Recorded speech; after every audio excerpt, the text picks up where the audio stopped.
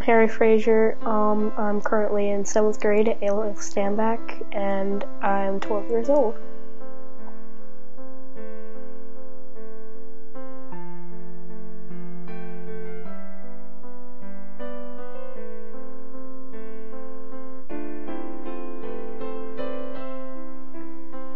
Uh, I'm Sarah Lutz. I'm 16. I'm a senior and I go to Cedar Ridge High School. Yes. AP Psychology.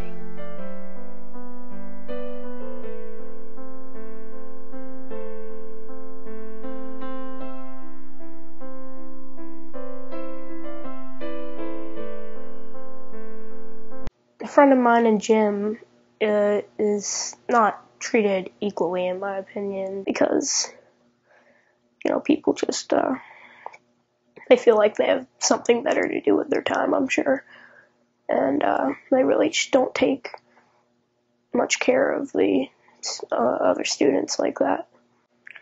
Um, I think that unless a student is obviously upset or in distress in any way, uh, the teachers really uh, just kind of stick with teaching. Um, I feel like um, they're not doing the, the, the worst that they could do, but they're not doing the best either. Um, we do have three guidance counselors, though, uh, which is very nice. I know all three of them are very nice people. Um, uh, and uh, I think that they definitely help a lot of people, but a lot of people don't go there for help often, and they are just overlooked. And I really honestly just don't think anything is being done there. Uh, and I think that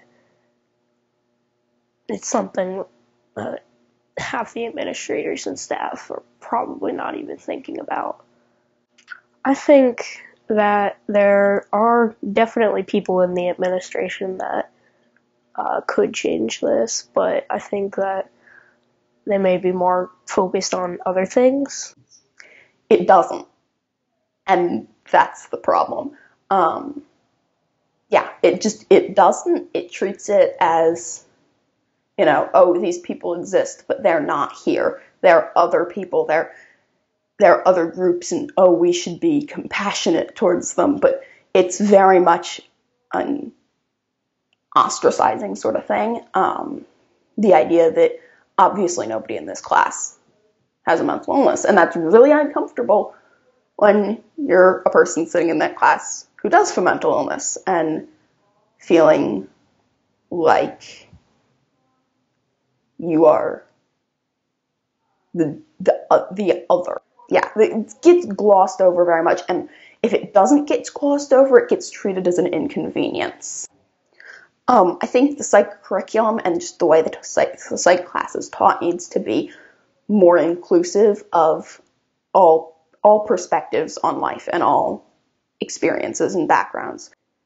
The class needs to be conscious of including everybody's background, you know, including the fact that we all have different experiences with mental illness and that mental illness in this psych class does not exist in a bubble.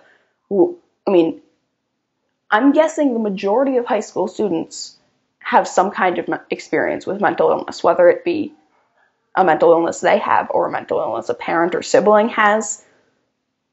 A lot of us have experienced it in some way, and so I think it's it you can't address psychology fully and properly without addressing people's personal experiences with it.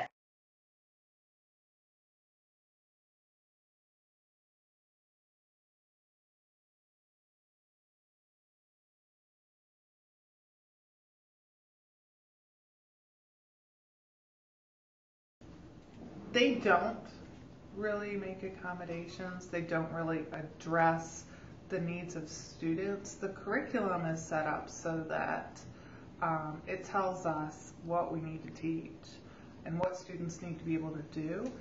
But um, there's really nothing that indicates how we're supposed to handle certain situations or specific students that have um, you know, may have mental disorders that, um, you know, this would be, the curriculum would be relevant to.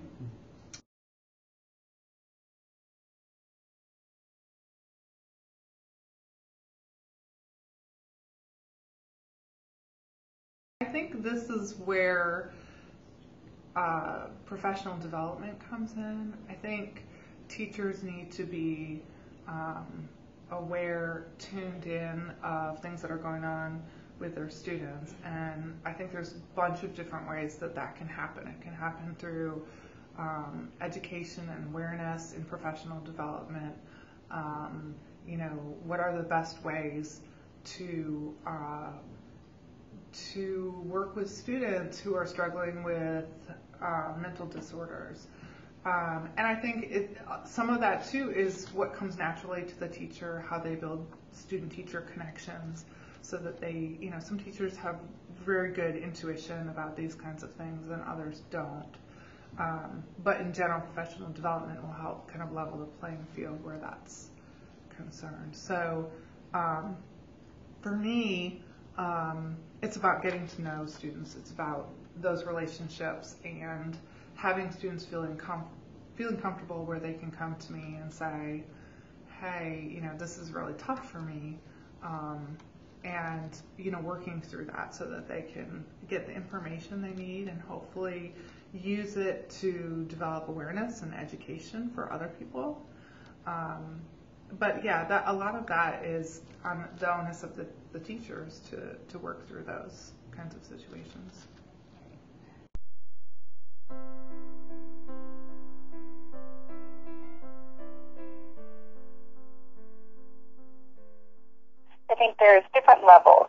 People who um, will tell the school system that they have a mental illness and, and what their needs are, and the school will, uh, depending on the level of mental illness, may uh, may qualify as a disability. And then there's an individualized education plan that's put together to uh, make accommodations for that student.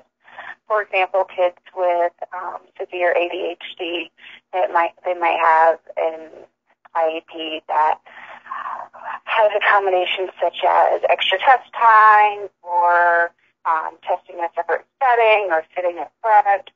Um, as you get older, those same accommodations can exist if the student needs it.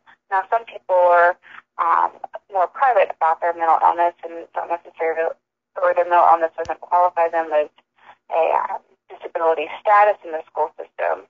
For those kids, they oftentimes find um, that they can, um, or they might need help, but they can get in a relationship with a guidance counselor. And so oftentimes guidance counselors work with students to, if you're upset, then you can come in and we can talk about it and work through it and hopefully keep you in the school for the day. Um, now, with limited resources in the school, it can become very difficult to make accommodations for everybody. And when you have large class sizes and teachers spread too thin, then oftentimes children with mental illness um, become uh, are more challenging and therefore um, sometimes get labeled as the bad kid or the problem kid um, and don't get the help that they need. Um, so, in order for you to get the help that you need, um, kids and parents need to really communicate to the school um, to the level that they're comfortable with what's going on and what uh, accommodations or what help they think that the student might need in order to be successful at school.